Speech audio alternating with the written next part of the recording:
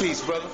Imhotep, Ankh Udja Seneb, Mfundishi, Jhutyms Ka in Heru, uh, Priority and Director of Black Gold Sacred Culture Healing Center, mm-hmm. 125th Street in Harlem.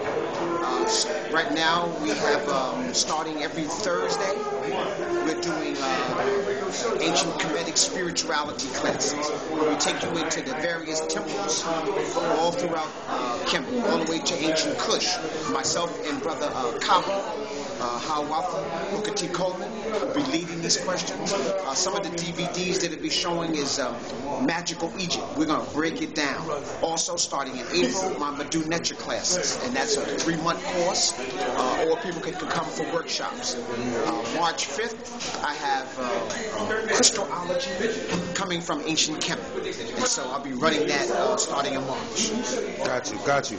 Appreciate the drop. You have any um other words of guidance that the people might need? Need right now? Just you know, let anything? people know that we are divine spiritual beings having a human experience. So take everything and utilize it. Okay? Because every all the trials and tribulations we're going through now is to make us a more dynamic people. Half the population of the earth is going to be destroyed. Mm. And when the smoke clears, it's going to be us.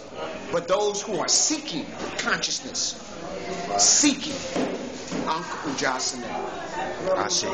Hey, keep it going, man. Um, keep it going.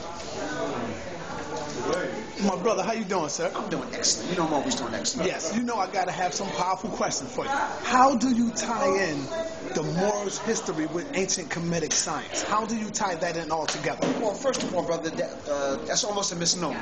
You okay. can't. You don't tie it in because it's part of the same thing.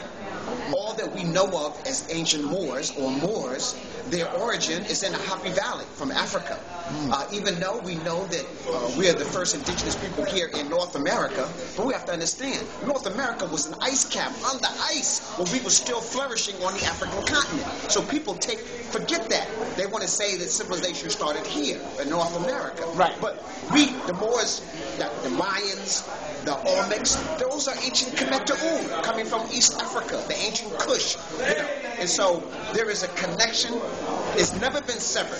Even when the brothers had a flourishing civilization here in North America, Central America, and Latin America, they were still trade and commerce with the brothers in Africa.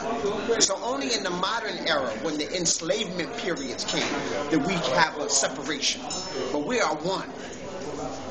So why is it that the brothers that study the Kemetic science always have the argument with the Moors saying we was never the same people? Ignorance. No such thing as the Moors. Ignorance. Yeah. We got a lot of people now professing to be scholars who are not.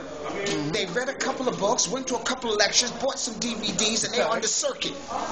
And they ain't wrote nothing. They haven't written no books. They haven't done anything, you know. So these people are not scholars. They're self-made, self-proclaimed people. Those are the ones professing that. Right. Because see, one of the things you need to be able to do is read the language. When you read the Mayan glyphs, it comes from ancient Kemet. Their same word for heaven is the same word as heaven. The same word for sky, same word for sky. Same word for underworld. That half of their vocabulary comes directly from ain't the Nile Valley. So people who don't read the Medu Neter, who don't read ancient Sanskrit, who don't read that, those are the ones making those claims. They found Medu Neter in the uh, Grand Canyon. Mm. So, you know, what's up with that? This, this parallel to the time of Tutankhamun.